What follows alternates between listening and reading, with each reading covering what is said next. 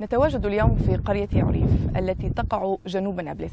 هذه القرية عانت وما زالت من إرهاب واعتداءات المستوطنين للفلسطينيين وذلك لقرب مستوطنة يتسهر منها. لذلك أخذ شباب القرية على عاتقهم حراسة أهلها من هذه الاعتداءات من خلال تشكيل لجنة محلية لحمايتهم. نستضيف معنا ينال النبالي منسق مشروع لجان الحماية في قرى الضفة الغربية وأحمد صفدي أحد أعضاء لجنة الحماية في قرية عريف. أهلا وسهلا فيكم. أهلا وسهلا ينال رح أبلش معك؟ احكي لنا كيف كيف تأسستوا وشو شغلكم بالضبط؟ هلا المشروع اللي هو مشروع تشكيل لجان حماية في قرى الضفة الغربية بنفذ المشروع اللي هي الهيئة الفلسطينية لإعلام وتفعيل دور الشباب بيالارا بدعم من سكرتاري حقوق الإنسان والقانون الدولي الإنساني. بنعرف إحنا إنه آه، معظم قرانا اللي بتوقع يعني اللي تقع في مناطق سي آه، ما فيها مراكز شرطة وما فيها أجهزة تحميها وبالذات القريبة من المستوطنات. بحدث عليها انتهاكات واعتداءات من قبل المستوطنين. آه، كانت فكرة المشروع أنه نشكل لجان حماية في هاي القرى تدافع عن هاي القرى ولجان حماية هي سلمية تدافع عن آه، قراها وتأمن المناطق اللي بصير عليها الاعتداءات. آه، كانت فكرة المشروع اللي هي في فترة الاعتداء اللي صار على دوما وقبل فترة الاعتداء على دوما. إحنا بنتوقع إنه آه، كل قرى الضفة الغربية القريبة خصوصا من المستوطنات هي بحاجة لتشكيل لجان حماية تشكيل لجان حماية إعلامية برضه تبرز هاي الاعتداءات والانتهاكات توثق عمليا. نعم توثقها أحمد هل في حادثة معينة اللي استدعت تشكيل آه، لجنة في القرية؟ طبعا عريف من القرى المستهدفة بشكل مكثف من مستوطنة يد سهار. حيث أن مستوطنة صهار من أكثر المستوطنات شراسة ضد الفلسطينيين. يوجد فيها منظمات إرهابية تدعو إلى قتل الفلسطينيين. المستوطنين قاموا بالهجوم على المدرسة بأكثر من مرة بحيث ألقوا زجاجات الحارقة على المدرسة وألقوا الحجارة على الطلاب أثناء تواجد الطلاب في المدرسة. يعني الاعتداءات مش بس بالليل كمان بالنهار مرات آه لا اعتداءات بالنهار وبالليل. تصير حتى أغلب المرات بتصير بالنهار وأثناء تواجد الطلاب في المدرسة. وهذا الشيء شكل خوف رعب لدى الطلاب ولدى الأهل. مما يعني شكل الخوف هذا شكل عند الأهل إنه ما صاروا يمنعوا طلابهم من الذهاب إلى المدرسة. وأيضا من الانتهاكات اللي حصلت في القرية حرق مسجد وحرق سيارة ومصادرة العديد من المواشي إلى المواطنين أثناء آه، قيامهم براعي مواشيهم في الأراضي القريبة المنطقة وأيضا تم اقتلاع العديد من المحاصيل الزراعية وحرقها. يعني كمان ف... ممتلكات عمليا آه، نعم. ممتلكات. وهذا الشيء هذا السبب يعني أدى إلى تشكيل لجان الحمايه في قرية عريف بشكل منظم. إحنا كنا نعمل من زمان لجان حماية بشكل منفرد. يعني إذا حدا شاف سيارة مستوطنين قريب على المنطقة مستوطنين يعني جايين يعملوا مشاكل. كان يتصل على الشباب يبلغ الشباب تتجمع يصيروا ينادوا في الجامع تطلع الشباب تمنع المستوطنين توقف تصد المستوطنين. لكن بعد محرقه دوما بالأخص وعن طريق مؤسسة بيلارا فإحنا بدأنا نعمل بدأنا نعمل بشكل منتظم. حيث إنه قلنا group على الواتساب إذا حدا شاف أي شيء بيودي message على المجموعة بتعمم على الجميع. يكون الجميع يعني مستن... بيؤدي للاستنفار الجميع بيكون عنده علم في هذا الموضوع. فيعني من من وقت ما بدأنا نعمل بشكل منظم إيه، قلت إلى درجة 0% طب ينال في كثير مجموعات شبابية موجودة في المنطقة. شو طبيعة عمل كل مجموعة؟ هلا طبيعة عمل اللجان بتختلف من قرية لقريه حسب اللي هو شكل آه، الاعتداء اللي بصير على القرية. مثلا لجنة الحماية عندنا في عريف آه، تم طبعا الاجتماع فيهم ومعرفة المناطق اللي بصير منها الاعتداءات مثل مثلا المدرسة القريبة من آه، المستوطنة. آه، شكلنا أدوار للجان بعد التدريب والتأهيل اللي استهدفناهم فيه. بنقدر إنه نقول إنه لجان الحماية في عريف استطاعت إنها يعني تصطحب الاطفال في فترات الصباح وفترات المساء هذه حل كانت لمشكلة المدرسة. حتى في أثناء تواجدنا هان تواجد لجان الحماية في عريف آه، حضروا اللي هم الجيش والشمير أو من المستوطنين اللي من القرية. بنقدر إحنا نشوف برضو دور اللجان اللي في عريف شو شو بيعملوا في الفترة هاي وأثناء حضور هذول المستوطنين. تفضل نشوفهم. يعطيكم العافية شباب. منتصر. أهلا وسهلا. كيفك منتصر؟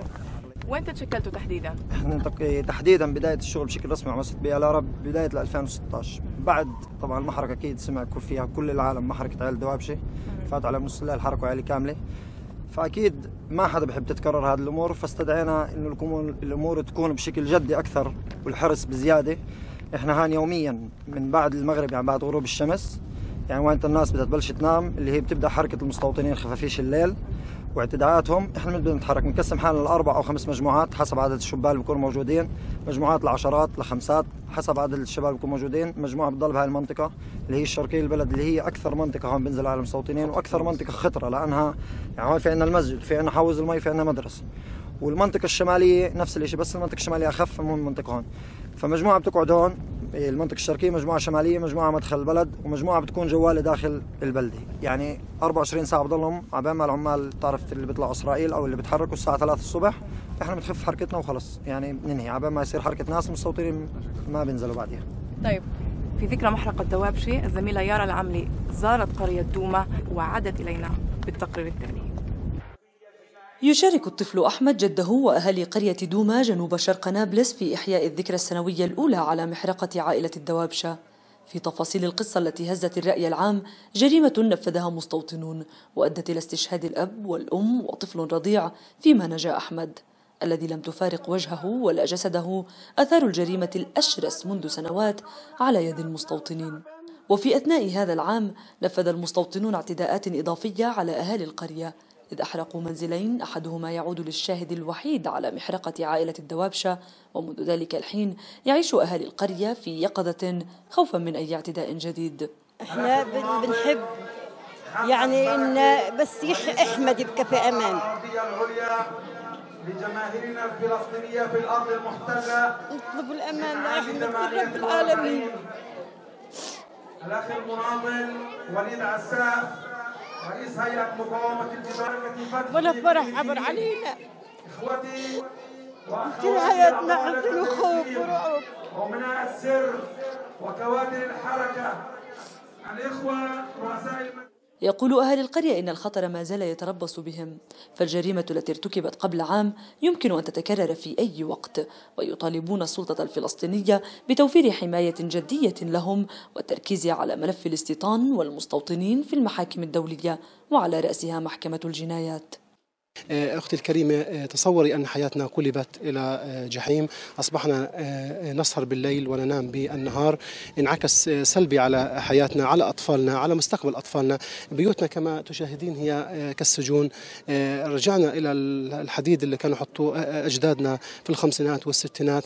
لأنه إحنا بنحمي أولادنا من هذه هجمات هؤلاء المجرمين المتطرفين. ومثل هذه العائلة عائلة دوابشي التي حرقت بدم بارد من المستوطنين ما هي إلا رسالة لنا جميعا ليس لعائلة دوابشي وإنما لكل البلدان أو القرى المحيطة بالمست... المحيطة بالمستوطنات الإسرائيلية حتى آه، يعني يع- يعملوا رعب وخوف لكي نترك أراضينا ونترك بيوتنا لهم. وهذا طبعا لن يكون بإذن الله وكانت محكمة الاحتلال المركزية أرجأت نهاية الشهر الماضي محاكمة قتلة عائلة الدوابشة حتى شهر أيلول سبتمبر القادم وهي بحسب عائلة الدوابشة سياسة مماطلة تتبعها إسرائيل لتهيئة ظروف تتيح للمحكمة الإفراج عنهم قبل النطق بالحكم ضدهم.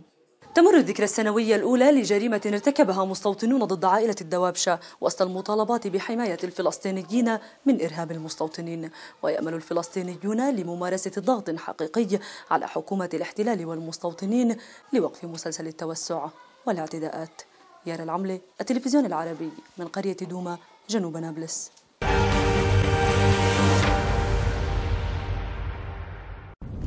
أهلا بكم من جديد. منتصر. كيف كيف تتواصلوا؟ يعني كيف تتواصل هاي اللجان بين بعض؟ بعد ترتيب اللجان بشكل رسمي عن طريق مؤسسة بيالارا طبعا بعد تدريب إعلامي مكثف لجميع أفراد المجموعة.